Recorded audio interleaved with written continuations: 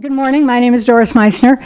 Those of you who have been regulars at this conference will know uh, what I'll say now to those who are new to this conference, and that is that for many years, first panel of this uh, gathering has, but it has been what we call the state of play. And uh, in the state of play, we try to talk about what's current, what is the state of the immigration enterprise, the state of immigration uh, uh, politics, events, and uh, developments. And um, uh, uh, and every year, it gets a little bit more interesting and a little bit more uh, charged. And I guess we've certainly met that standard this year, haven't we? So um, um, uh, we have a terrific panel here of uh, uh, uh people that know politics on both sides of the aisle, as well as people that cover these issues. And so let me quickly run through the speakers, and then we're going to uh, uh, have as much of a conversation as we can. I'm going to ask questions. Uh, panelists will answer, and we'll leave time at the end, uh, uh, obviously, for audience participation. Um, on my left is Casey Higgins, who's the former assistant to the Speaker for Policy and Trade Counsel uh, when Paul Ryan was the Speaker of the um, House of Representatives. She's now with Akin Gump. Uh, uh, uh, next to her is Lorella Praeli, who's the President of Community Change Action and Vice President of Community Change. And this is a new job for Lorella. So we're welcoming her to her new post.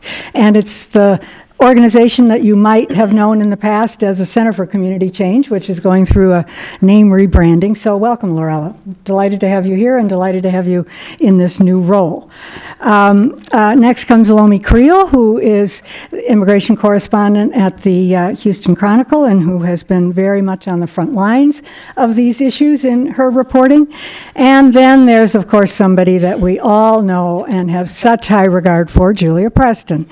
Uh, Julia Julia, of course, Julia is now a contributing writer at the Marshall Project, but most of you will know her as the long-standing immigration person reporting for the New York Times. Julia, I think you and I are the gray hairs here at the table because we have been at this for such a very, very long time.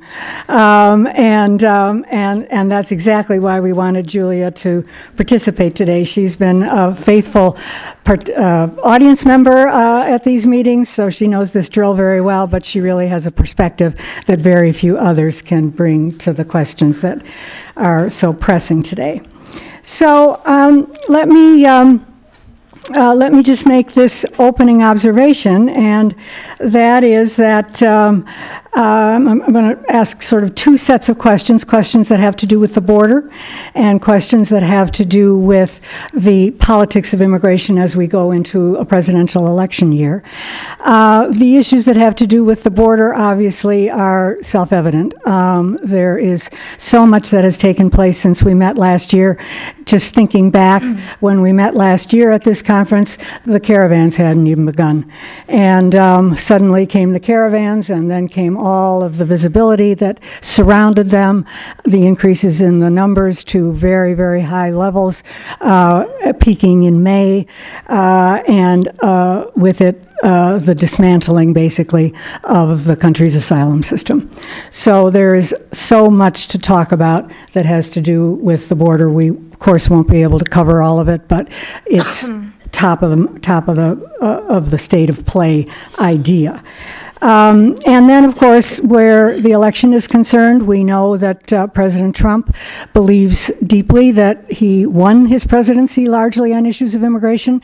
We have every reason to believe that immigration will continue and recur as a center stage issue in a reelection in 2020.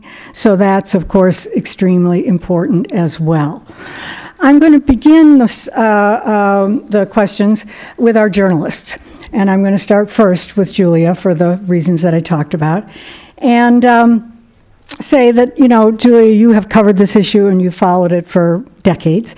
And uh, uh, so you really do have some perspective on how things have evolved.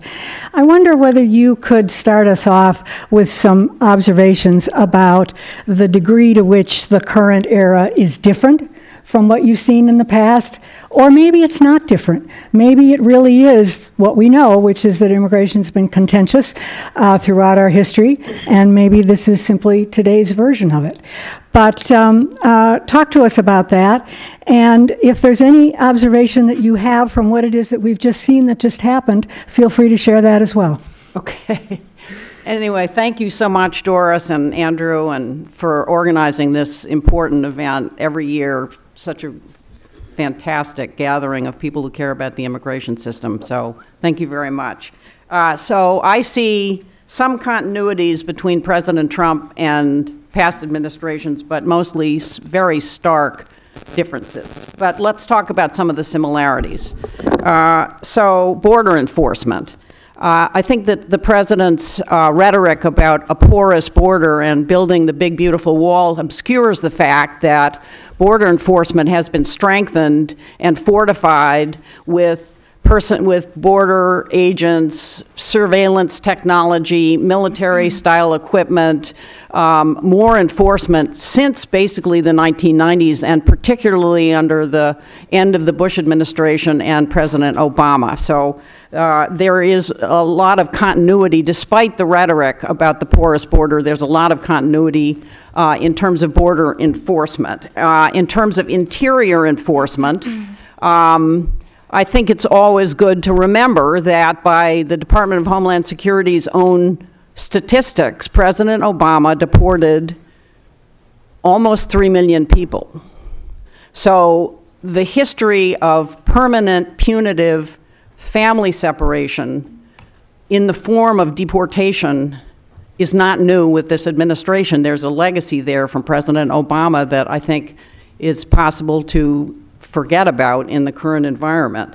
Uh, I think under President Bush, President Obama, and now Congress has failed spectacularly to take on its responsibilities to, to address the just extremely damaging, increasingly damaging dysfunction in our immigration system. The immigration system is failing, in my view, to meet the labor needs of the country, to live up to the United States humanitarian and uh, uh, responsibilities and obligations, failing to achieve the social imperative of uniting uh, and preserving and strengthening immigrant families. And Congress has just been AWOL on this issue through several administrations. I think it's good to remember that.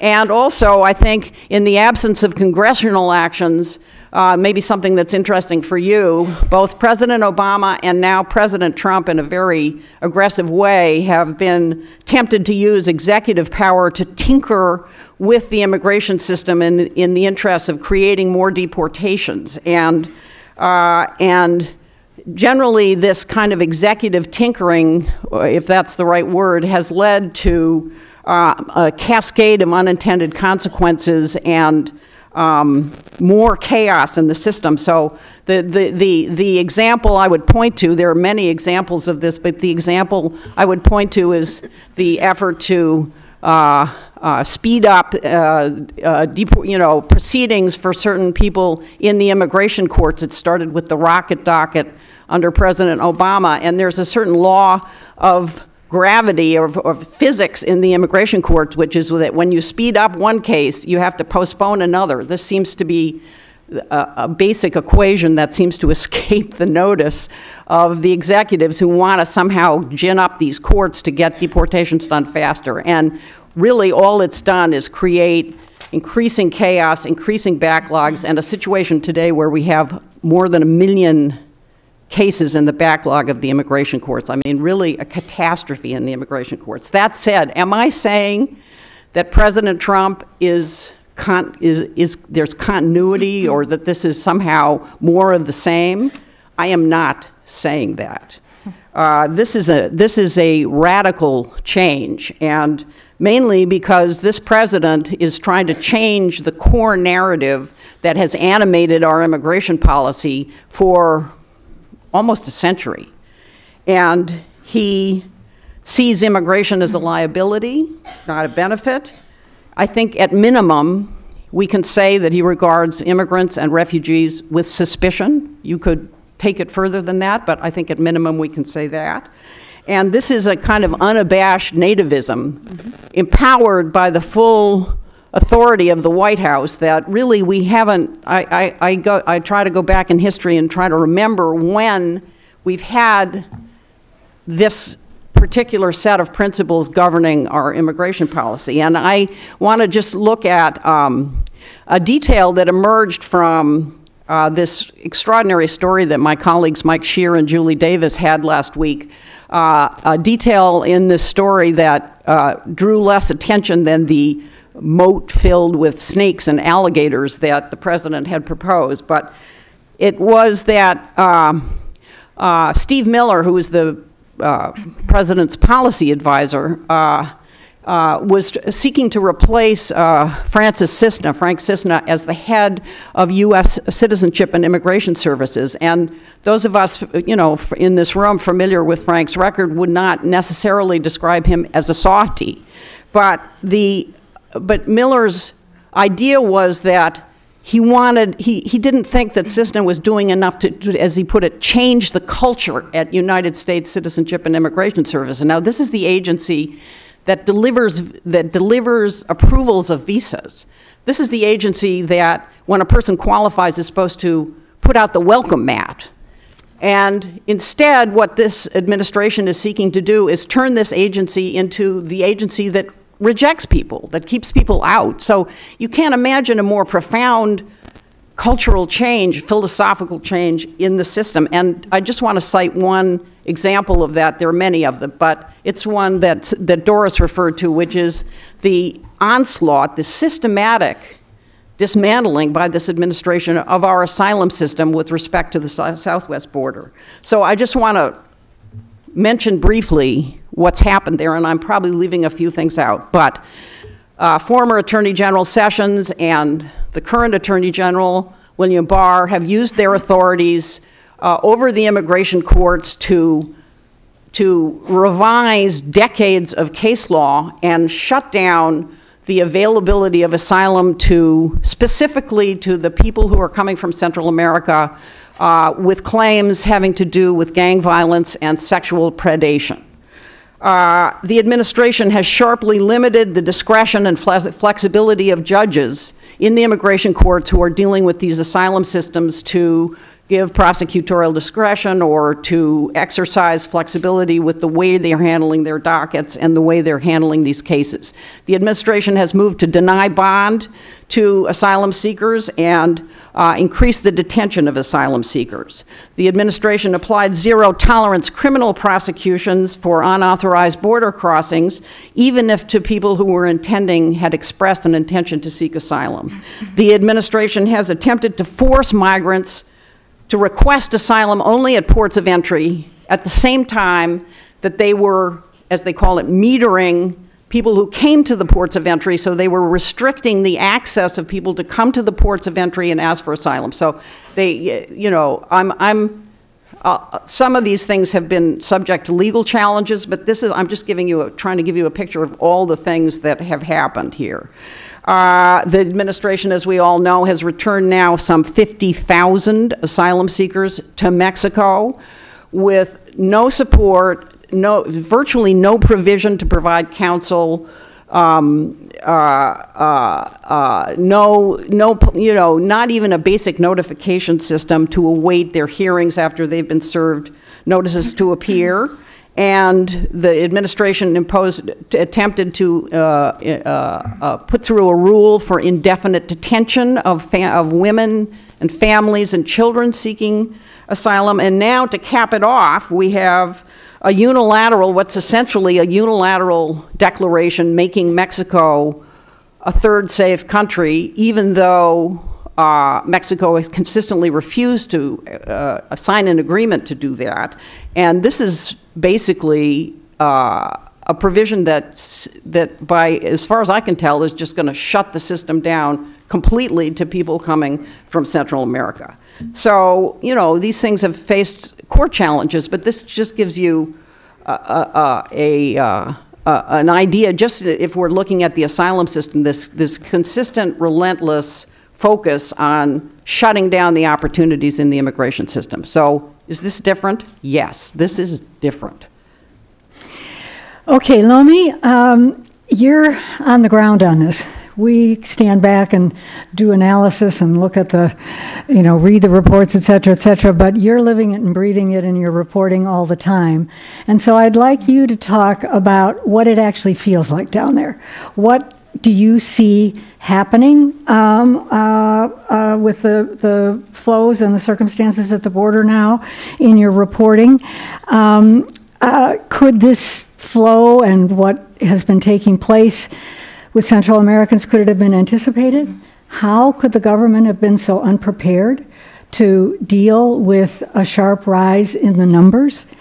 Um, and um, uh, the classic question now that's arisen is this a manufactured crisis or is this, has this been a crisis? Well, the realities on the ground, kind of um, building off what Julia said, has really changed so drastically since May, um, mainly because of two of the Trump administration's most significant policies that have um, taken, that have unfolded since then that are really keeping all migrants from entering the southern border. Um, and there are two, also the two policies that have really received the least public attention, um, even though journalists and advocates have done an ex um, exceptional work covering them. The one is the migrant protection protocols, which returns uh, migrants to Mexico to wait there for the duration of their court dates. And as Julia mentioned, the policy of metering, which limits how many can cross at ports of entry in many cases now only two or three, and sometimes none a day. Um, so these policies have had the most dramatic impact, but has not fueled nearly, nearly the same type of widespread outrage that we saw with family separation last summer. And I think a lot of this is because it's playing out out of sight, out of mind. But the consequences have really been horrific. I was in Juarez when uh, MPP just expanded, and I was in a, a, shelter, a church shelter, when some of the first asylum seekers were returned. And this was at the peak of what um, Acting Secretary called the, the breaking point um, in El Paso. And so many of the families I spoke to in that church had spent 10 days in a Border Patrol processing facility. They were sleeping, sitting up, had not been able to shower or even brush their teeth. And when they were sent back to Mexico, not only did they not have anywhere to go, but they were also really, really sick. And we're talking about little children, you know, women in their 60s and 70s. Um, even at that early point, so this was in May, and now, of course, it's, the program has dramatically expanded even more across the border. But even at that point, the city of Juarez was already overwhelmed. The mayor back then said he, they couldn't take any, they couldn't house any more migrants, they didn't have any more space, and that he was concerned that it would aggravate not only xenophobic sentiments among Mexicans, but um, more violence by cartels who see the migrants as vulnerable and quick cash opportunities. So since then, it's only gone much worse as they've now expanded the program to uh, Nuevo Laredo and Matamoros, which are far dangerous border cities. And what we're seeing now is migrants camped out in informal tent settlements by the bridge because they don't feel safe going into the city or there simply isn't more space in the shelters there. And so the health conditions there are really bad. It's also really dangerous as uh, cartel members and organized crime know that they're all in one place. Um, there have been more than 340 reports of rape, kidnapping, torture, or other violence against migrants who've been returned, which is certainly an undercount. Um, many have been bused elsewhere to Mexico and then uh, re returned willingly to places where they may be in real danger because they don't know how much longer they can wait in Mexico. And of course, as Julia also mentioned, there's almost no access to, to legal counsel, even though now with the new ban on asylum, their chances of getting that protection is, is even more slim. So the impact of those two policies alone is really cannot be overstated. Um, to your second question of whether this could have been anticipated, I mean, that it certainly could have. The increase in families from Central America coming here has been happening since 2014. Um, and so, you know, it's been, it's been happening for a combination of push and pull factors that we've all been talking about, writing about, warning about since then, including violence, poverty, and an immigration system that allows migrants to stay here for years while they wait for their court cases. Uh, the department, but there have been a couple of politic plays on this as well. In October 2018, the Department of Homeland Security warned it was a crisis, but the calls went largely ignored. Um, Democrats accused the president of exaggerating the situation. Um, he was calling it an invasion at the border. And at the time, the numbers were certainly not as overwhelming as they would be a few months later. Um, and many rightfully criticized the administ administration's own policies for exaggerating the crisis, combined with smugglers who were taking advantage of the situation and the kind of erratic U.S. policy. After the administration ended its family separation policy, word quickly spread that the time to come to the U.S. was now, before the president shut the border. But the administration also did some things that seemed to exaggerate or, or worse, it certainly didn't help the numbers coming here. They, last fall, they began releasing migrant families en masse in border cities rather than coordinating their releases with nonprofits as they had before, which lent to this idea that there was a run at the border. Um, they also, of course, diverted billions of dollars to a wall, which does nothing to stop migrant families from coming here. And instead, in many places at the border, they wait right by the wall for Border Patrol agents to pick them up. So that money could have been better spent to go to immigration judges and asylum officers to expedite um, cases. Uh, like Julia mentioned, some of their own policies within the courts also further clogged the system, including by, for example, ending a tool known as administrative closure, in which they could have just taken some cases off the docket if judges found the mi migrants may have a good reason to stay. But is it all a manufactured crisis? No. Uh, the, I mean, that president certainly used the idea of an invasion for political purposes, but by the spring it was clear that the federal government was overwhelmed by the number of families, and the consequences in some cases were deadly because the system was just not set up for it. At least seven children we know have died in immigration custody. And I think that the key thing here is that though Democrats have argued illegal immigration is far less than a peak of 1 million in 2001, the, democratic, the demographics are so different now from mostly single Mexican men that came before to mostly Central American families, often with very small children, who are much more difficult to, um, to detain safely and quickly deport. And so the two flows are really not comparable. Okay, um, we're going to go now um, to people that know what's going on in the politics of this and, and have been on different sides of trying to deal with these issues constructively. And on the same Uh, side sometimes. Right, exactly. Um, And I want to ask you first, Lorella, uh, because you've been, you know, your career has been both in the world of immigration advocacy as well as in immigration politics, and you've worked in uh, uh, uh, Secretary Clinton's campaign, et cetera. So you, you know, you see this from a number of different places, and, and where advocacy and, and uh, uh, political parties are concerned, they don't always align. Um, And on this particular issue that Lomi's just been talking about, this question of whether the circumstances at the border were a manufactured crisis or not, I mean, Democrats basically called it a manufactured crisis, and they didn't respond in the Congress uh, uh, when the administration first uh, really began to ring the alarm bells, as, as as Lomi pointed out. Um, You know, looking back and reflecting on wh- where that's taken us and these policies that are in place, did, did, did Dems make the right call on this? Why did it take them so long to be willing to move on basic humanitarian assistance, whatever the reasons were for how it came about, when people were truly suffering? Um, And, um, um, you know, can you imagine what, what, what would have satisfied Democrats at that time when you have those kinds of numbers? Thank you, Doris. Um, I will start by saying I don't work for the Democratic Party, um, so I am just sharing my views as an advocate.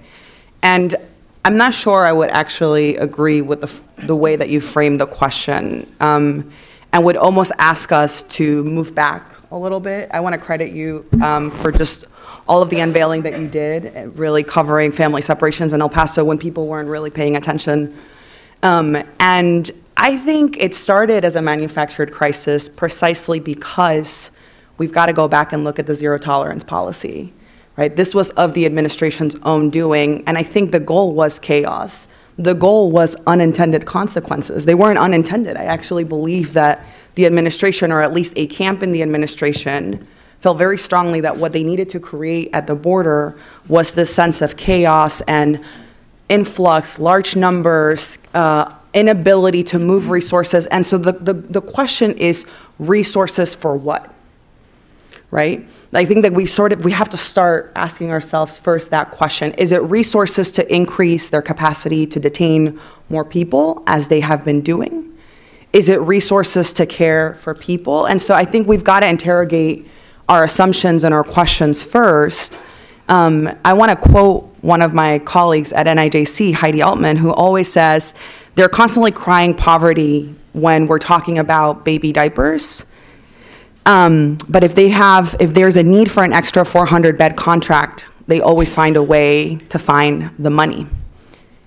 Right? And so I think in, in every uh, conversation, when we engage about the need for resources and what Republicans are pushing for, first I think we have to understand that as a given, as part of their goal.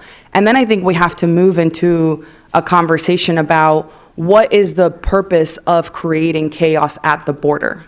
And this administration hasn't been shy about the fact that what they want are, is for Congress to intervene, not just to appropriate more resources, for them to apprehend and detain and remove people, but because they want to change our asylum system. So they want to create a political problem for Democrats and Republicans and for advocates so that the laws are changed in their favor, right? So that the laws mirror their vision for how we should be treating refugees and asylees in our country. And so I think that's, that's where it starts. Um, and I think that there is, just to now to move into more of the Democratic Party politics, um, I think that there is an active conversation um, within the caucus about how do you put forward a different vision. I think there are people comfortable with the way that things were under the Obama administration. I think that then there's a cohort um, that is moving in the direction, frankly, when I think about politics and what makes the impossible possible, right? We, we, we get really caught up in our own politics as immigration advocates and in our movement. But if you sort of move back a little bit and think about the base, and who is going to turn out in primaries, and then who's going to turn out in the general election, you know, we've got to think about what else is happening in the progressive space and in, on the issues in general. And I think that what you're seeing today with some candidates moving down in the Democratic Party and those who are really holding the number one, two, three in slots is that the American public is urging for transformative structural change. And the only reason we're not having that conversation here when it comes to immigration, I believe, is because we are afraid. We're not leaning into the conversation in the way that other people are leaning into their issues.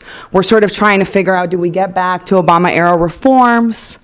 Or what are the, th- how do we approach this so we don't lose the election? No other issues really having that conversation. They are saying what Trump has done is shedding light on laws and injustices in the system that have been in place for many decades. What does it take to actually move in a fundamentally different direction when we think about what our immigration system needs to look like? Right? And that's a very different conversation that I think this movement, our movement, is not really engaging in. Right? You think of an Elizabeth Warren, for example and she's sort of rolling out massive, you know, restructuring plans. And I think she falls a little short on immigration still, right? And so I would just put, I would just offer that up as it's important to think about what's happening on our issue right now, and it's also important to look at the broader movement ecosystem, and then ask ourselves if we're if we're showing up in this moment as the election heats up, you know, with the right approach in mind. Let's hold that thought and come back to it um, when we talk a bit more about politics, because that's, uh, I, I'd like to hear you say some more things about that, and some of the other panelists may want to comment on, on, on that as well. But to finish the first round, um, I'm going to turn to Casey now, who is very familiar with Republican politics and with frustrations on the other side of working on these issues as a practical matter uh, on the Hill.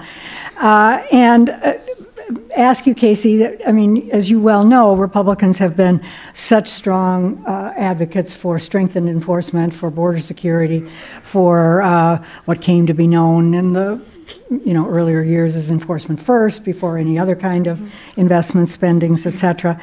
Um, and um, um, and so, you know, as Julia pointed out in her opening comments, I mean, enforcement has really uh, uh, come to, you know, into full into full force with resources and techniques, et cetera.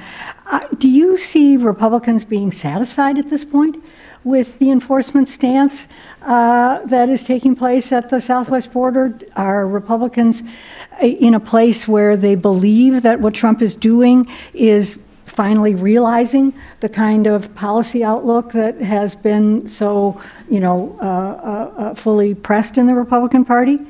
And, um, um, and uh, do you see any movement among Republicans, particularly in the Senate, to deal with this issue that the administration advances all the time, which is that the reason that the system at the border is having a problem is because of loopholes in the law, and that those loopholes have to be fixed.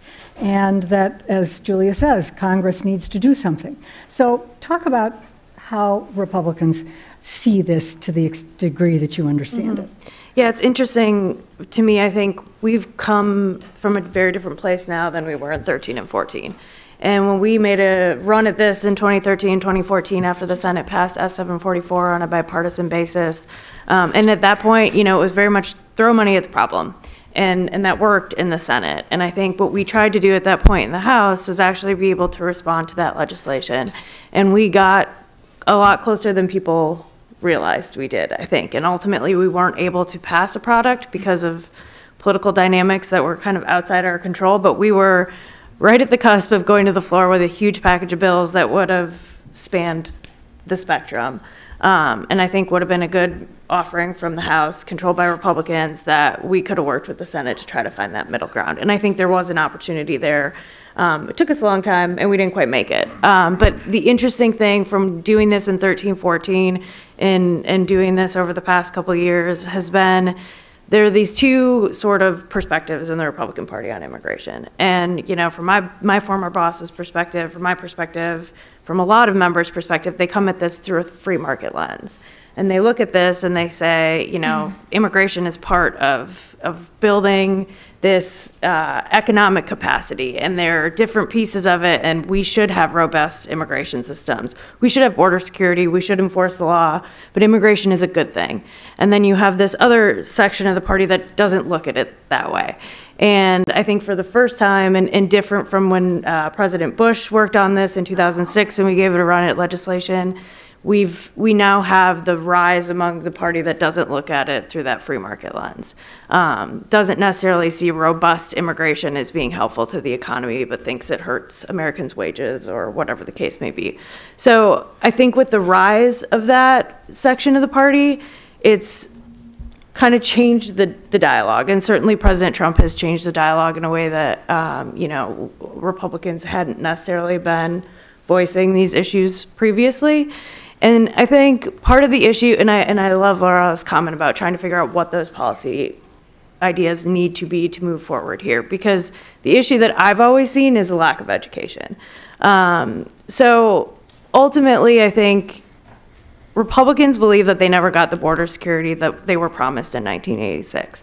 And they know we need to modernize the border. They want to restore order generally. Um, there's frustration when they feel like there is a crisis on the border and there's denial of that. Um, they want to figure out how you come together and, and move forward in passing actual legislation instead of just the executive acting. But among the public and frankly among a lo- a lot of people in Washington, they don't understand immigration. And when my boss would go to a town hall, it would actually take him seven to eight minutes to talk about border security, to talk about guest worker programs, to talk about the Dreamers, to talk about broader legalization, and help his constituents understand why he had the approach that he did. And that's, a- it's a long time, but he could do it because he really took time to dig in and understand the issues. Uh, is complicated, and it takes a lot for members to figure that out. And I think where, you know, we've had a lot of focus on healthcare and other issues, and they've taken the time to learn those. I think across the board, there's just, you know, among the public and among members, they don't fully grasp it. I'm from Wisconsin, and until I went down to the border, you don't really understand it. I didn't grow up with it. I don't live in Houston, you know. You and I've been down to the border several times, and every time I'm down there, I learn something new, and I get a new perspective on it. And so I think that education can help everyone across the board try to figure out how we move forward um, on border security, but also on other issues as well. And I also want to say, I think one of the things that gets lost is that fixing the legal immigration system will help the border, right? It will relieve pressure on the border. Um, high walls, wide gates don't mean walls in the sense that, that the president uses it. But, you know, the, the idea is that if you've got your economic immigrants coming through the front door, you can focus on drug traffickers and other issues at the border. Um, so I think from a free market perspective, that's how those of us look at legal immigration can actually help along the border. Um, but we need to have bipartisan conversations. And in 13 and 14, we were um, having really amazing bipartisan conversations. And at that this point, I think both sides have retreated so far to their corners um, that we've got to really work to find out how we get back to that middle point. We haven't had a um, full comprehensive proposal uh, that was bipartisan since since S744 in 2013, and it's it's been a long time since then. The world has changed a lot since then. Um, so we need to start having those bipartisan conversations again. Figure out how we can actually get to the root of some of these problems. Um, to address the border, but also to address the dreamers and address the broader population, fix the legal immigration system so it works. Um, there's a lot we can and, and need to do, but I think both sides need to figure out how we can come back to the middle, use our common sense, approach these issues in a way that we can actually get something done. Because when you keep having the pendulum swing back and forth in the White House, and you know you have President Obama who came in and did DACA and all these things for, through executive action, then the pendulum swings, and you've got Trump doing all these things through executive action. We need Congress to act, and at the end of the day, it's got to be bipartisan. Republicans tried to do something, uh, several things last year in the House and the Senate without the cooperation of Democrats, and it wasn't successful. Um, you know, Democrats have moved some legislation this year, but I think ultimately, until the two sides decide that they can come together and try to figure out a bipartisan compromise, you're not going to see legislation, and you're not going to be able to truly address these issues. We can we can throw money at certain problems um, through appropriations bills, but that's not fixing the ultimate problem at the end of the day.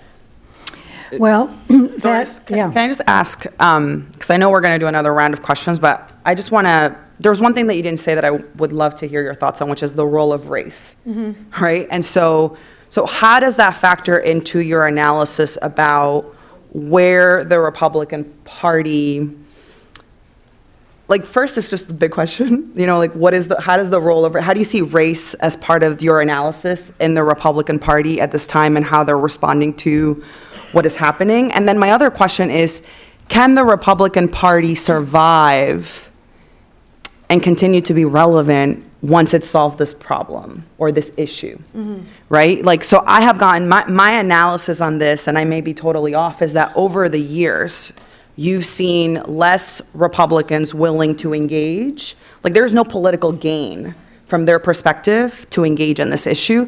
There's a political gain to engage in the opposite direction, right? You keep the issue alive. It is Trump's mobilizing issue. It's what he ran on in 16 and 15, 16. It's what he's going to run on again, and he's doing that now. And so I think if you could weigh in on how do you see race as a factor, as a dynamic in the caucus today in the party? And then the other is, can the party continue to build power without or once it solves this issue? Yeah, I don't, I- you know, there are always outliers. I don't think race is a factor. I just don't. There, you're, gonna- You're going to have outliers in the party, um, but I think for the majority of the party, they don't look at it through that lens. So yes, you're going to have. But you don't have the majority, you didn't have the majority in 13 or 14 to address the issue. For what reason? I don't think it's a policy disagreement. I Yeah, it's mean, I- interesting. So we actually did, um, and I was a part of the whip team that got to the majority that we needed to be able to move forward. And like I said, there, frankly, Eric Cantor lost the Right. primary. It got blamed on immigration. all and you have to know. We could not move forward at that point. But Exactly. I mean, we, you know, I covered this debate in 2013 and 2014. We wrote dozens of stories at the New York Times. There was only one story we needed to write, which was the defeat of Eric Cantor by Dave Bratt in his primary. Mm-hmm. That was it. That happened. No immigration reform. And it was ascribed to immigration, and it wasn't, the, the loss really wasn't even about immigration. Mm-hmm. I mean, it was, wasn't. no, It it was about wasn't. It immigration. wasn't. Yeah, Laura So the whole thing is behind that. perception as compared to. What. Well, it goes, you know, what- anyway, to me, it it- goes back, it goes back to, there is a Repu- Republican, there's a stronghold in the Republican Party that is animated and that, it- uh, that engages with this issue through a race perspective. I mean, President Trump launched his campaign by calling Mexican, Mexicans rapists, right? Like, I mean, if that is not racist, is that, if that is not suggesting a particular ideology and way of looking at the world, then, like, I just, I, I, and I'm not saying it to, to be agitational, I'm saying it because I actually, I want to fix this problem. Like, I want to fix the issue. I think our current, our present is unsustainable. I think that the solutions of the past are not going to make it. Mm-hmm. They're not enough. And so, I, how do we actually get there, though, if we can't have a real conversation about the dynamics animating the conversation and the politics?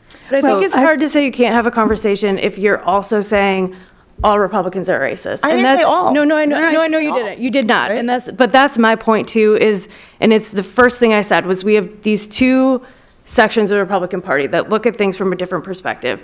There is, and has been in the past, a majority of Republicans that want to work together. They don't view this from a racial perspective. They want to work to fix this problem. And we need to find the members in both of those parties if we ever expect to be able to move forward. It can't be, well, you're a Republican, you must agree with everything Donald Trump says, and we cannot have a conversation about this until Donald Trump is gone. It's just unacceptable to, and I'm not saying you said that, I'm just saying it's unacceptable for us to say, as long as Trump is president, as long as these things are happening, we can't have a conversation. Both sides need to figure out how to come together, and I think both sides use the politics of it to their advantage. I think for Democrats, it's been not necessarily in their interest to, to get together with Republicans and fix the problem because they can use the fact that it hasn't been fixed to keep hammering Republicans. So I think both sides are at fault. I think there's a place in the middle where there are good people that want to find genuine solutions mm-hmm. to address these problems. Don't come at it from a race perspective. You know, want border security, but want to fix the asylum system, want to treat people in a humane, humane way, want to fix the legal immigration system, and frankly, want to find a solution for all of the undocumented population.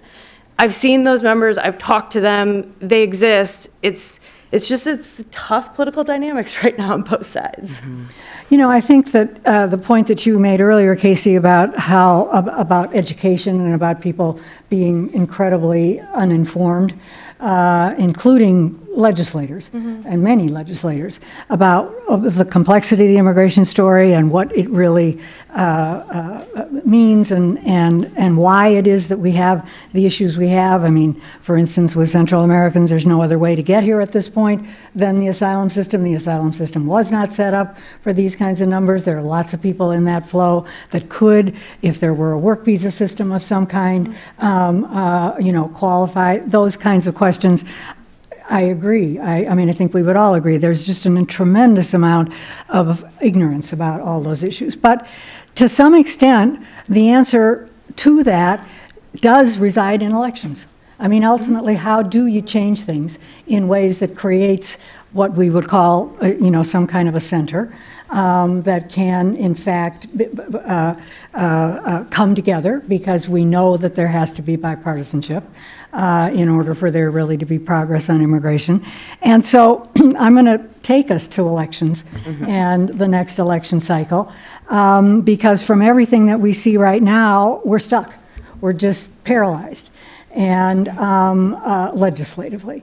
And the only thing that can really shake that up uh, is, is elections.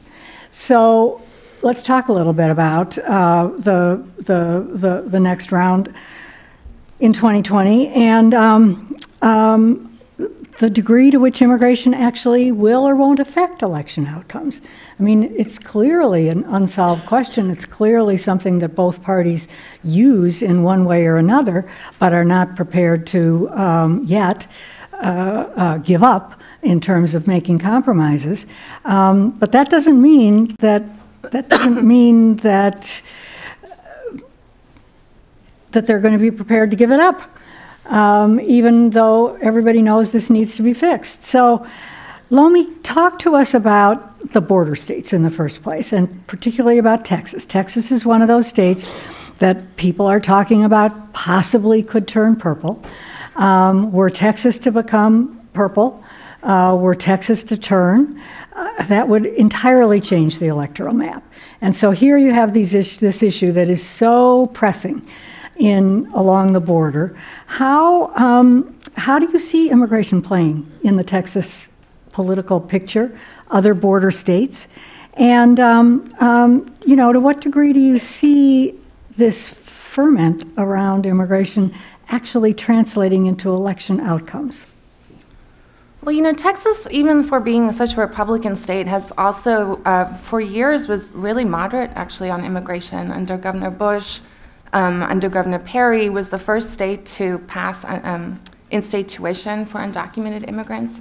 So it's really just in the past few election cycles that uh, the rhetoric um, has really become more intense, the anti-immigrant rhetoric. And we saw that um, particularly last year in the Senate race with Ted Cruz and Beto O'Rourke, where um, it was a very tight race with immigration being really part of it. In fact, just days before the election, Senator Cruz accused O'Rourke of funneling money to the caravan. And, um, you know, it played up. I was at his election party, and the first chant that, that went up after his very, very narrow victory was uh, 3%, the closest winning margin in, since 1990 in Texas. Uh, as soon as his victory was declared, the first chant that sort of began in the room was build that wall. So clearly that was very sort of part of um, what his base voters were excited about. But, you know, and though he ultimately won, um, what you saw happening kind of down ballot in Texas, which was really a blue sweep, and also where O'Rourke ended up winning, which is every urban area in the state, and including um, sort of exurban areas that Republicans had won in the past. Um, many, including uh, Senator Cruz's political advisor, found very indicative of what might come next year. Um, you know, we know that the share of Latinos and Asian Americans as Texas is becoming more diverse is, is increasing. And uh, many say they are galvanized by this, um, the current sort of anti-immigrant rhetoric. And we saw that particularly kind of play out in Fort Bend County, which used to belong to Tom DeLay. Um, it was a, a, very Republican area, and um, now, you know, it's, um, it's still represented by a Republican, but who just announced he was going to not seek re reelection, and it's considered a district that will very likely go Democrat.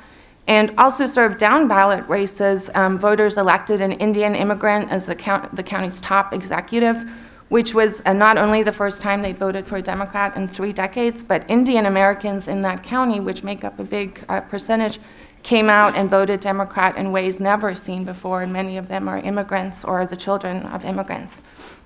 And another thing that happened um, this year that I think will have a significant impact is the mass shooting in El Paso, mm. in which the shooter, the gunman, um, spouted anti-immigrant rhetoric and invoking many of the terms like invasion that the president has used. And in fact, so has uh, Governor Abbott and Lieutenant Governor Dan Patrick has used similar terms which they've been criticized for. And many um, think it's having an impact. According to a Univision poll, almost 70% of Latinos in Texas say, said last month that race relations have deteriorated in the past two years and three quarters say their vote matters more in 2020 than in 2018. Um, 69% they'll vote Democrat or are leaning to vote Democrat.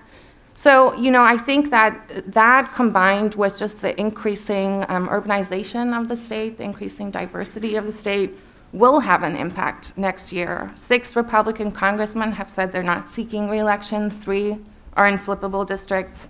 Republican Senator John Cornyn is going to face probably a tough reelection campaign, although likely will, um, will be victorious. And Democrats are also increasingly, there's a really good chance they might take back the state house, which would um, be a significant difference. So, you know, I think it is having an impact. Do you, do you know enough about, I mean, it- what about the other border states? Arizona is another state, obviously, that is very much in flux. Do you have a sense whether you would say similar things about a state like I mean, I think we saw that last year when, you know, there was an increase, and I'm sure Lorella can talk more about it, a huge um, increase in the Latino voter turnout. We also saw that, which happened, um, Texas passed its own sanctuary city bill, but after Arizona, which first did that, the Latino voter share dramatically uh, went up the year, the, the election cycle after that. I mean, I would just chime in and say, you know, we can spend a lot of time taking the temperature or we can make the temperature. And, you know, when I think about power building and when I think about electoral politics and civic engagement work, I mean, it comes, it's, it, these things aren't going to happen just because there are more Latinos or more API potential voters. We've got to do a significant amount of infrastructure building in these states.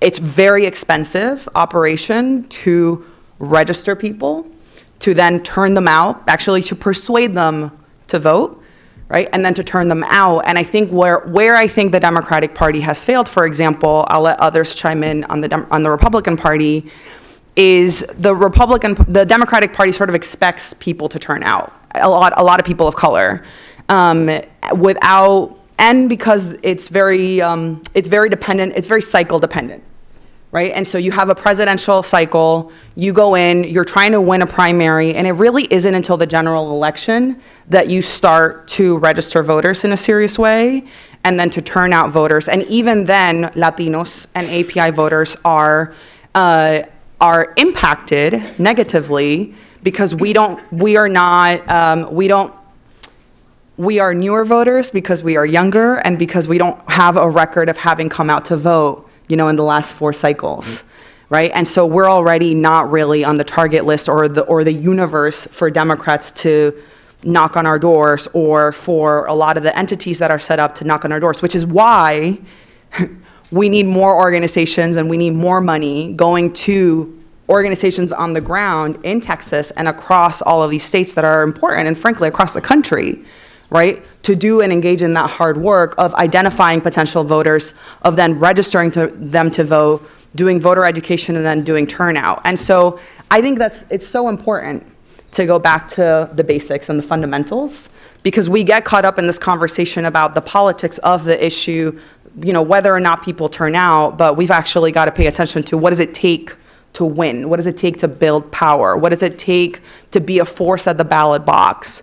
Um, and I think that what I saw in the in the Trump administration and what we've seen with interference from other countries in our own elections here is that the goal is to decentivize our or demobilize our base, right? Demobilize voters of color, right? Tell them that the kind of policies and the leaders are not actually working on their behalf, um, and to tap into anti-immigrant rhetoric to mobilize their base. And I think that's a dynamic that we saw in 2016. It's hopefully not a dynamic we'll see in this race because there will be people to work to make working to make sure that folks turn out to vote.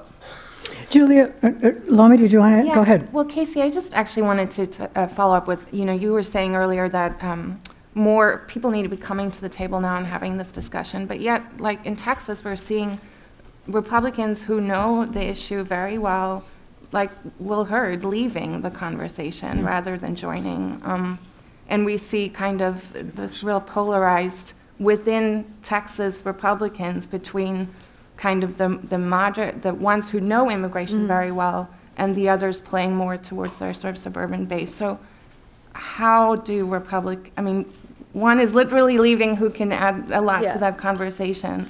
How do you bring it back? Yeah, no, it's a good question. I think the interesting thing, to, and I'm no expert in Republican politics by any means from a campaign perspective, but I think, you know, the rhetoric is not helpful. And, you know, you look back at George Bush, who actually took a huge portion of the Latino vote, right? And, and was very open about wanting to do immigration reform. He was pro border security, um, but wanted to do immigration reform and really tackle the whole problem.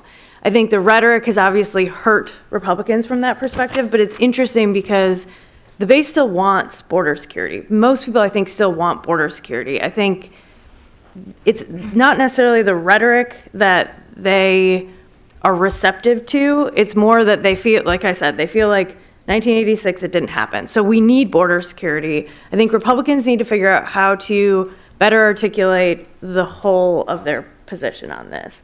Um, because it can't just be about border security, like, right? Like I said, fixing the legal immigration system is going to help overall. And there are candidates who are looking at this trying to figure out, okay, yes, we, we do need to make some changes here. And I think we can all agree modernizing the ports of entry, things like that are, are, are smart things to do.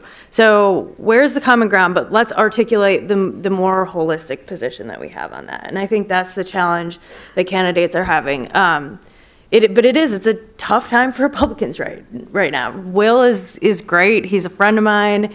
He's been awesome to work with on this issue. I think he's been really helpful in the Republican Party, and we need to make sure that we're bringing in new candidates that can speak that way as well. Um, younger people that can bring some new life to the party, um, because I think you know, long term, this this tough rhetoric um, that makes you all laugh at me when I say it's not race based. Um, it's, it's not going to work. It's just not going to make a difference long term, and it's not going to help the, the Republican Party survive. We need to be better about these things.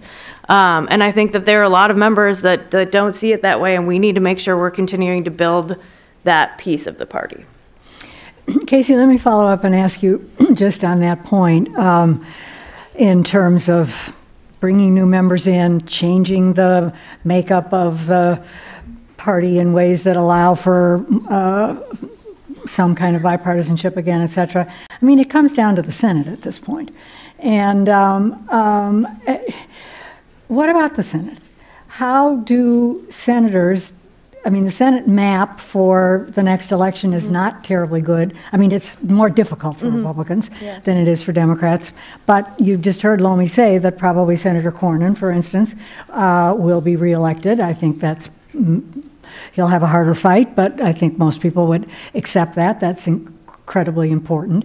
Um, Do you, do you see that there, how, how do, how, how can Republicans navigate this in a way that in an election, there's a different outcome? Does what voters vote for, does immigrate, if immigration is an important issue in the election in terms of, of defeating uh, even uh, uh, those that have, as you said, Will Hurd, have leaving the Congress, etc. what changes the Senate in an election, if that's critical now? Yeah, and it's interesting because I think, um, and you, you're seeing it in polling, it is certainly a very important issue among Republicans right now.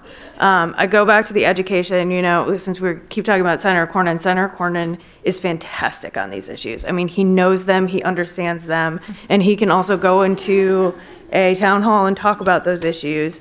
Uh, behind the scenes, he's worked on this issue for years, and he actually has been a, a force for good in trying to push for a compromise position. So I think member, like I said on the education front, members like that that can really articulate their position. Um, my former boss go into a town hall and he would talk about why he thinks we need to find a path to legalize the undocumented that are here. And that is a tough thing to talk about in Wisconsin. And he would take some arrows for that, but for the most part, because he was able to explain to people why he felt that way and really articulate his position, he was going to be just fine. So, you know, it, everyone's walking a tightrope right now without question when it comes to this issue. But if you learn it, if you know it, if you speak articulately and, and help people learn about it, that's going to help you at the end of the day. Julia, do you think that we're going to see a replay of 2016 in terms of President Trump um, uh, putting immigration front and center again? I do. Yeah. Yeah, So, so, so, it's already started, Yeah. so let's talk about, We had the, we, he, he went to uh, California recently and talked about frying an egg on the wall. So he's, he, you know, he's, he's, uh, it, it's going to be a little more complicated yeah, that's, the that's the question. Is it Yeah, more complicated? In what ways? Why? Well, but another politician might be a little concerned about the fact that we're two and a half years in and not a single mile of new, of what they call new border wall system has been built. I mean, they're, they have plans to finish this, you know, some portion of this wall between now and 2020, but uh, another politician might have been concerned about the fact that the Congress, including the Republican-controlled Senate, has voted twice to cancel his border emergency and deny him the authority to raid the Pentagon budget. But this president is not a fact-based president, as we know. And, you know, this wall has been um, such a powerful symbol for him, and he's going to have plenty of photo opportunities in front of some big black structure down there that I'm sure he's going to be using that uh, as his campaign, you know, a centerpiece of his campaign. I would, I am, I would point out to you some, a, a, a political paradox about this, which is that I'm in touch with a lot of people in Mexico, and the joke in Mexico City right now is Mexico built the wall, and Mexico is paying for it. Why? Well, I mean, there's no physical structure at the, at the southern border with Guatemala of Mexico, but Mexico has deployed a brand-new National Guard, many more than the 6,000 National Guard troops that Mexico promised have been deployed across the southern border. They are deporting many more people. Uh, They are enforcing that border in a way that's never been enforced before, and Mexico is paying for that. Mexico is also with no provision, no funding, virtually no logistical agreement, hosting, what, 50,000? 50,000 asylum seekers in Ciudad. I mean, Lomi talked about this. These are some of the most dangerous cities in Mexico. But President Andrés Manuel López Obrador, supposed to be a leftist national president, his philosophy has been, I don't want to fight with this guy in Washington. And so Mexico has allowed, Mexico, the country that the, the President Trump has routinely vilified, is now become the country whose cooperation has become fundamental for the Trump administration to succeed in with its border strategy. And I'm sure that President Trump is not going to mention Mexico when he takes credit for that on the campaign trail. But I would say that after El Paso, um, uh, after family separation, you know, I, I can't think that this rhetoric is going to have the same mobilizing force for all Republicans, for the Repub- for all the Republican base that it did uh, uh, in 2016. And uh, to me, I think that the crucial thing is going to be how coherently Democrats articulate an alternative. And so far, it's not looking all that coherent. I mean, on one hand, from Congress, you do, you know, in general, on the big picture, you have much more unity and much more vocal uh, kind of support for the immigration issues than I think we did in the past. But, you know, Vice President Biden, after three debates, still has not articulated a response, a, a, a consideration of what the baggage of Obama's legacy is on deportations for his. He still is stumbling about this. He, he clearly doesn't, he's confused about what the asylum system is. And look what happened to Julian Castro with this boomerang when he proposed to, which was a very basic, you know, uh, he, he proposed to repeal the uh, statute that criminalizes first-time uh, border reentry, and he seemed to, to, to win that debate. But the Republicans came in and said, no, you know, they, this is, just shows you that the Democrats are for open borders, and instead of kind of closing ranks and explaining why this is not an open borders proposal, there was, you know, the Democrats all seem to sort of run in different directions on this. So, so, you know, I- that's my view, you know, how, i- if the Democrats don't come up with a forceful and coherent response, they need to decide, are we going to go for the, for the constituency that we lost in Wisconsin in, in 16, or are we going to build a new constituency? Are we, you know, or maybe we don't have to make that choice, but look at Florida, look at Nevada, look at Arizona. You know, I mean, what's going to happen? Yeah, I mean, I think it's we're oversimplifying everything, and I get it because we're on a panel and we've got to like get get to it. But I, I mean, to the role or the the things that will impact the outcome of the election, like we can't have a conversation without talking about the media. Right? I mean, if you look and if you study 2016, the media, I mean, like Trump didn't even really have to do that much, earn, like, didn't have to buy that much media. His ability to manipulate the news and to drive and take hold of the media cycle is unmatched on the other side right? So he's able to deliver his message and to be relevant and to be in people's mind in a way that Democrats cannot. So you've got that. Then you've got another challenge with Democratic consolidation, right? You can't consolidate voters if you still have a primary that goes until June of next year, right? Maybe you have a brokered convention. And so while there, that's going to, you know, I think it's good to have a strong democratic process and primary and a robust conversation about policy and the politics, but it's another factor that we have to contend with because while, we, while they're all doing that on the Democratic side, there's only one candidate who's really relevant on the Republican side. I think that what's happening on the, in the internet the things that we don't know about, the way in which information is being distributed today, the way and the rise of misinformation today is another dynamic that's going to play. So it's not actually just about being able to articulate, you know, immigration policy. Do I believe it's critical that Democrats, that advocates, that everyone have a conversation about new policy frameworks, narrative shift, et cetera. It's there are all of these other factors that are going to play out in the next year and will determine who is the next occupant of the White House. You know, and I think that there's this question about Wisconsin voters. I also think that there are a lot of people to working to expand the electorate, right? And so, and I don't, and I don't think that we're talking enough about, and maybe this will happen later, about other trends, global trends that have an impact on the way that we understand immigration. And frankly, not enough candidates are talking about that. Climate change and climate displacement, the future of work. right? Like Republicans almost get to have to talk about immigration, have to make it about a culture war, really.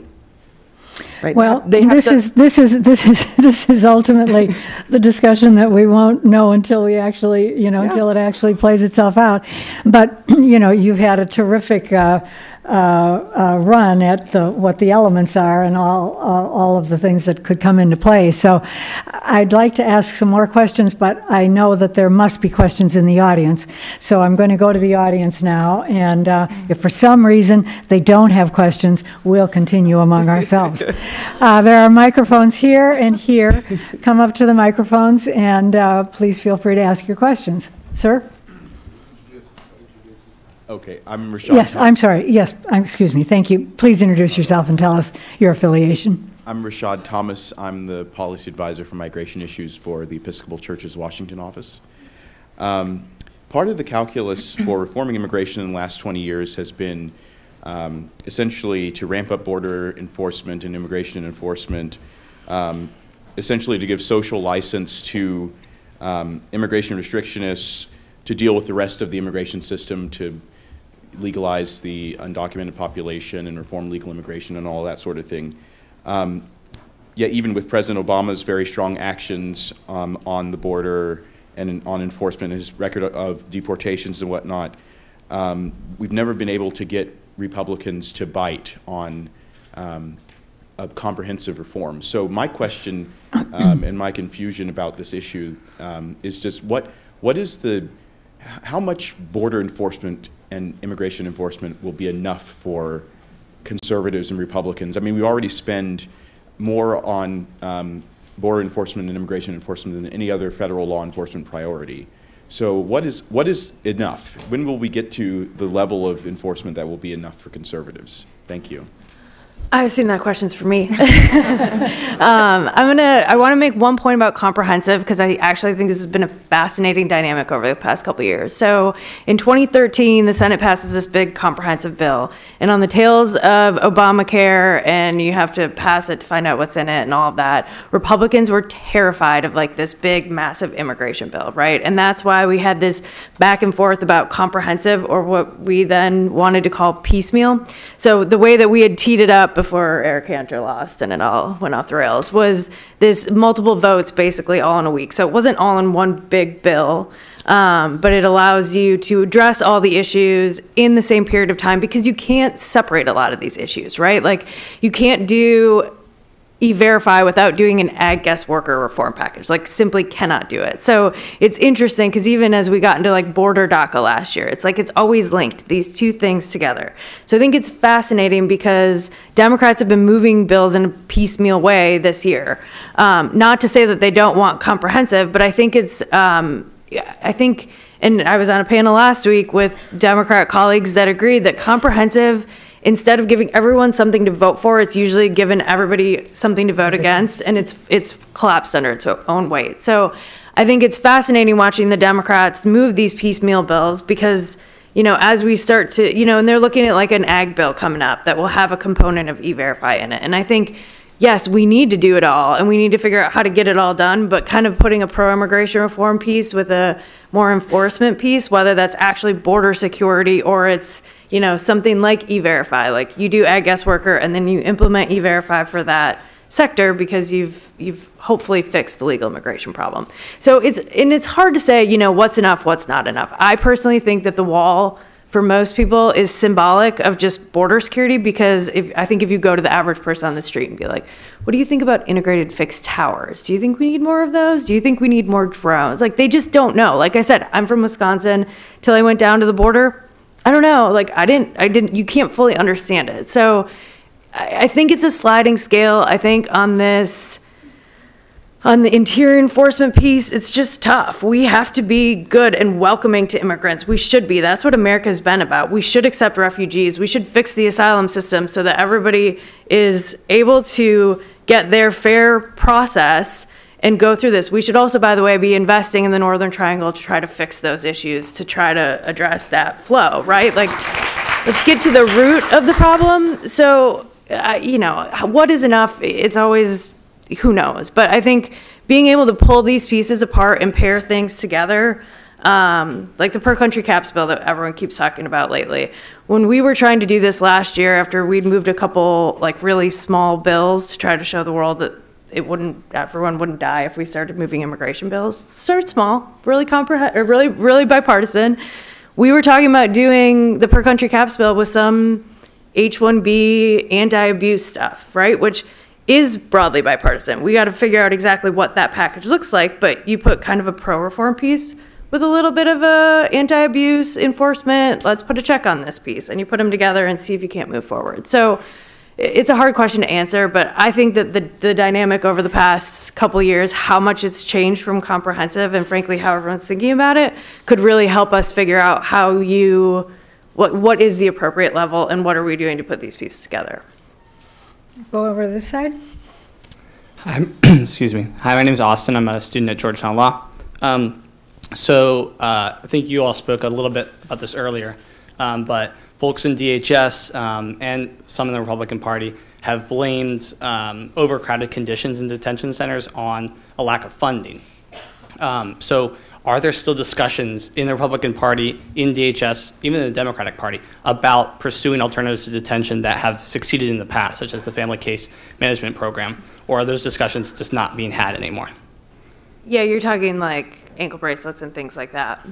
Yeah, and programs that encourage court attendance if that seems to be an issue that um, people see in releasing um, families. Yeah, I think, you know, catch and release is something that has been talked about heavily. I think there are ways, alternatives to detention that have been trusted, that have worked in the past.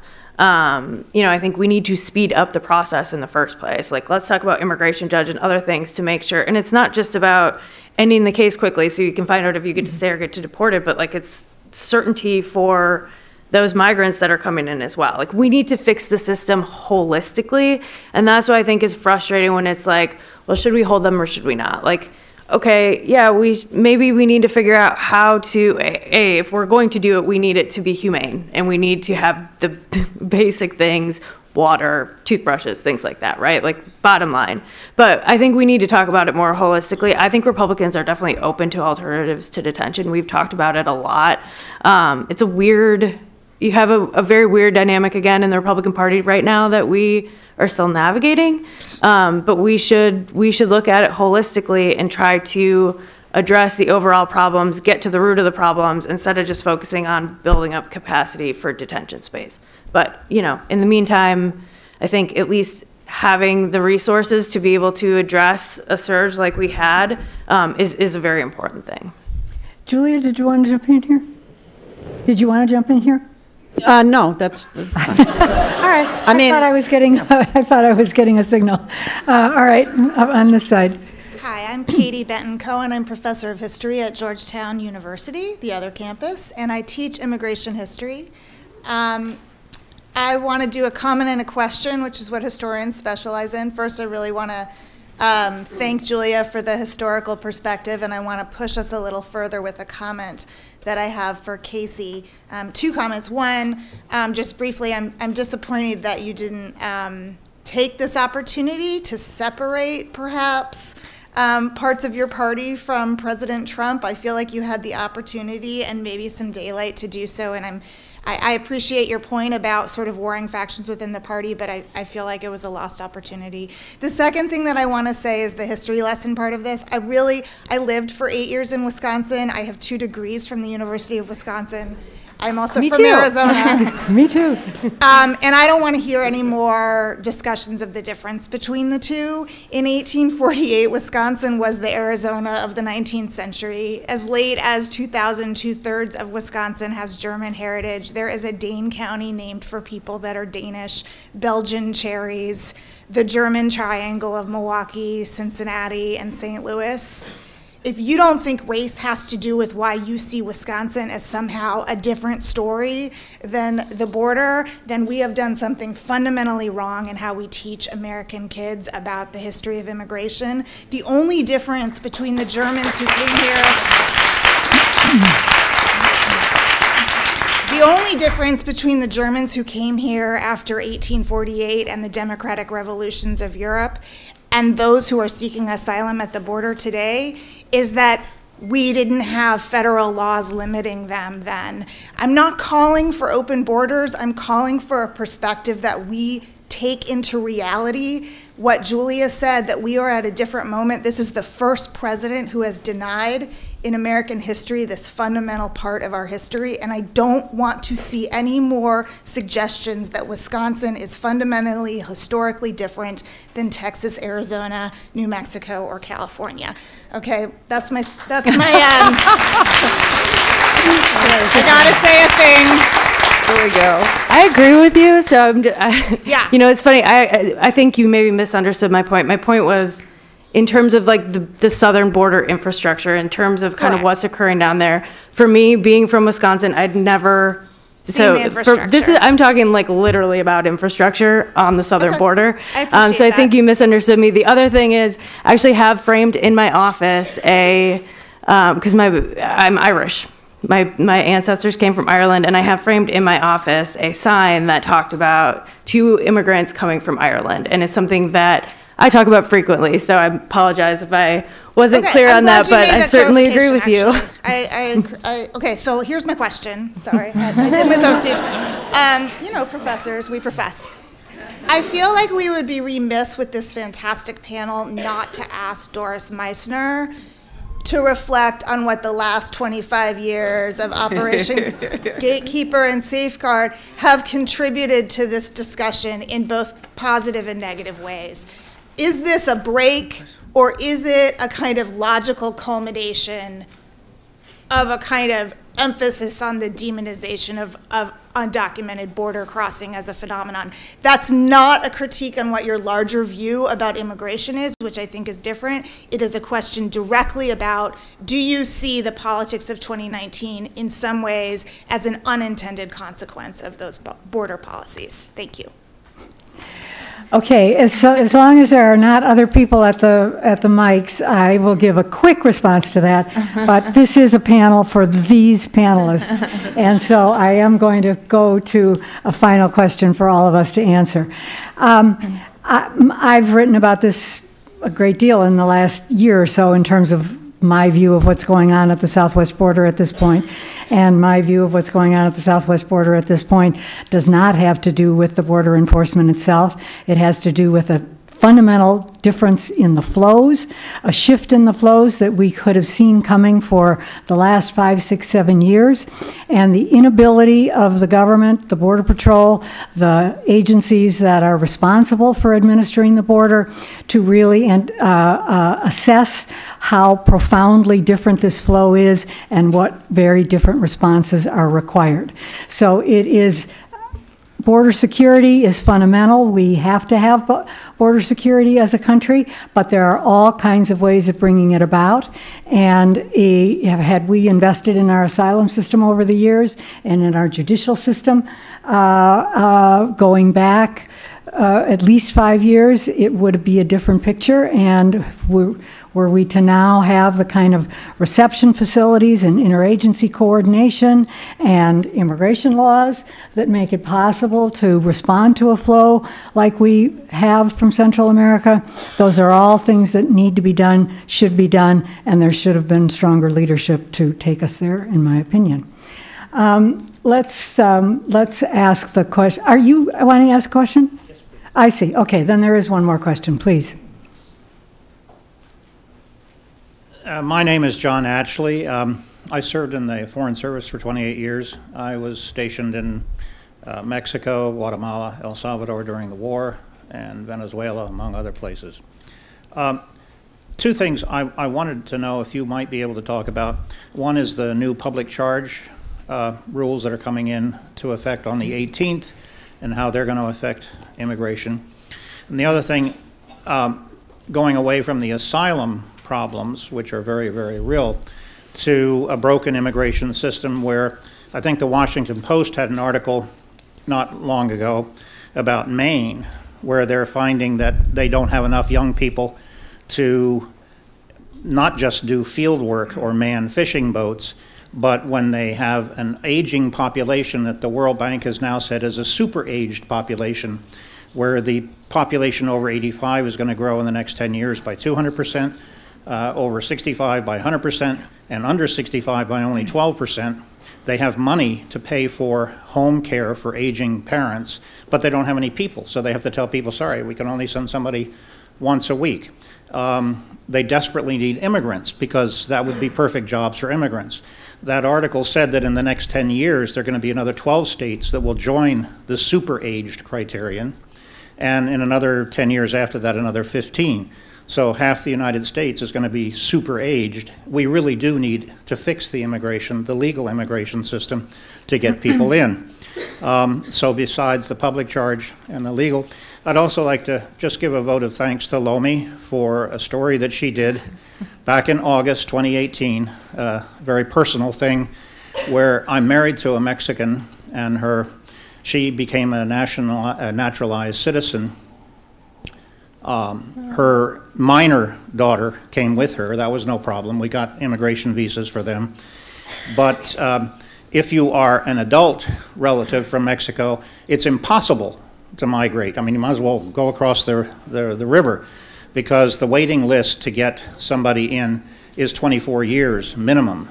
I would long be dead, and so would my wife, before her daughter could come in. The thing is that her daughter has a U.S. born infant son. And we always obeyed the law and said, well, look, you can't immigrate. There's no way. So we'll just do exchange visits. My wife will go down for three or four months. You guys will come up and live with us for two or three months. Never overstay your visa. Now, her daughter was on her second 10 year non immigrant B1, B2 visa. And my wife had been down there together with the younger daughter. When they came back to Houston, They were detained by Customs and Border Patrol, not allowed to talk to the mother, interrogated for eight hours, and then Customs and Border Patrol invalidated her B1, B2 visa and said, we don't care about your 20-year record of legal comings and goings. As far as we're concerned, your mother's a citizen now, and you've got a U.S.-born child, therefore you must want to immigrate. Therefore, we're revoking your visa, and therefore you're standing in front of us here in Houston as an illegal immigrant, and we're deporting you tomorrow. And you may not apply for reentry to the United States for at least five years.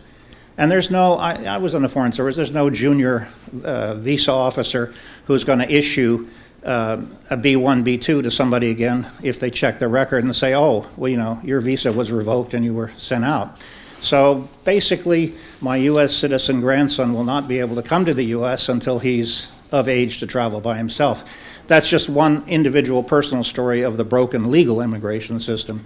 It's not that important, but I would like to hear what they have to say about public charge and the need for people to fill jobs in the United States. Right. Well, you know, unfortunately, there are far too many stories like that, and it goes to, I think, what is surely a point of consensus on this panel that has come across all the way through, and that is that we desperately need to have a viable, functioning immigration system that is uh, uh, reflective of today's realities in the economy and our demography in the labor force.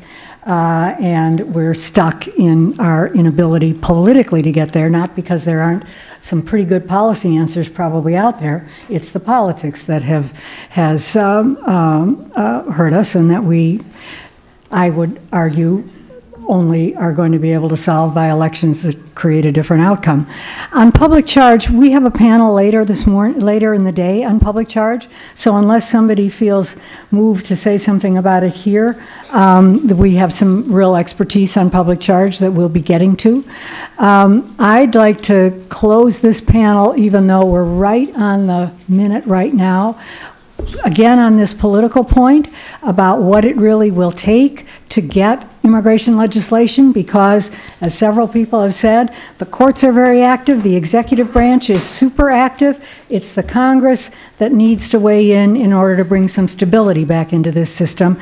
And how can that happen unless we have a different makeup in the Congress? Could I do a quick one answer down the line? What would be the best outcome from the 2020 election in the White House, in the House, and in the Senate? just, just the party makeup. What should be the best? What leadership of those three key bodies is the best combination to perhaps break through for immigration legislation after 2020. Julia? Oh, boy, I'm a journalist. I Party, don't party, do party, best party, party. outcomes. What's the best combination? It's the I- combination that matters. Doris, I'm very reluctant to answer that question, but I will say that I can't, s- uh, two things. One is, uh, I can't see comity on Capitol Hill being reestablished. It's, it's just difficult for me to imagine how that would happen if President Trump is reelected on this Okay, issue. all right, you Uh, can And I also want to just say quickly that the wild card here that we haven't talked about is DACA, because if, depending on what the Supreme Yeah. Court does, this may be. Exactly. And, and DACA is one, on one of our subsequent panels. require a legislative response next year, so we may find out more about. TPS. Right, we'll get to DACA later today. Lomi? Yeah, I mean, I agree with Julia. If, even if uh, Senate changes on the Senate, but change, not from the top, and President won't sign the bill, I'm not sure. how- Lorella? Um, I think we need changes in the White House, and we need a different Senate.